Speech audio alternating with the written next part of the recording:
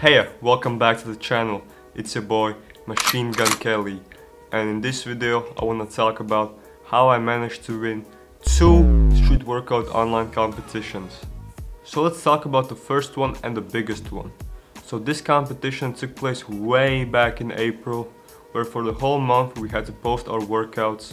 So basically each week we had to post three workouts exactly and we even had an extra week so there's even more workouts there. So I created another account on Instagram and I started posting these workouts every other day and at the end of the month I managed to get first place. Now from what I see I managed to win because I had the most diversity in my workouts. There were six other competitors with me but at the end of the day everyone went away with some prizes. So I looked back at my workouts and I made this highly advanced graph of all the workouts I did. So I guess my favorite muscle group to train was back and shoulders. That's mainly because of the static movements you can do. After that, chest and triceps.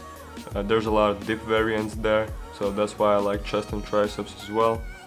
Then I managed to do two bicep workouts, a full body workout, and legs, abs, and the freestyle session was one video.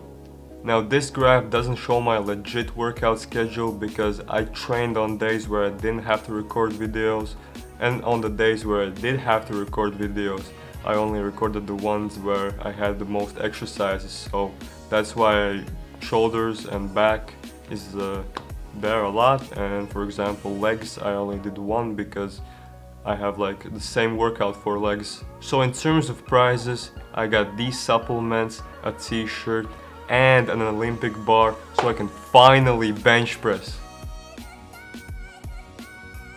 Now about the second competition, it was much simpler.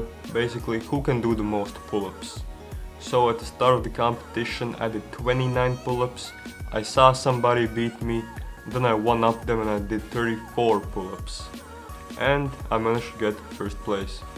And if you're interested, these were the prizes I got for that competition. I guess I won more street workout competitions online than I have in real life. Well, hopefully that's gonna change soon. I guess the moral of the story is if you see an opportunity, take it. Because you might win, and that's what I did. So that's it for this video guys. I'll see you next time.